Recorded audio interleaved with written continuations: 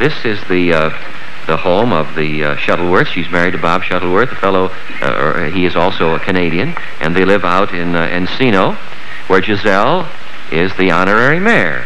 They have two children.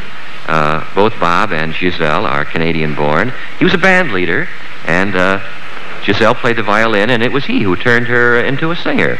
This, these are the children. There's little Mac. He's uh, 18 months, but that there is Gisele, or Gigi. She's six months old. That's little Mac. He's uh, 18 months old. Handsome children. And like all of the parents, we've gone through this bit.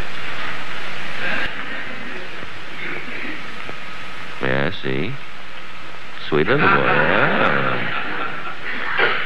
Gisele has, uh, she's crazy about uh, animals, and she has uh, two poodles, two long-haired dachshunds, a mynah bird, Mo, a Siamese cat, an alley cat, a canary, Fred, and two finches.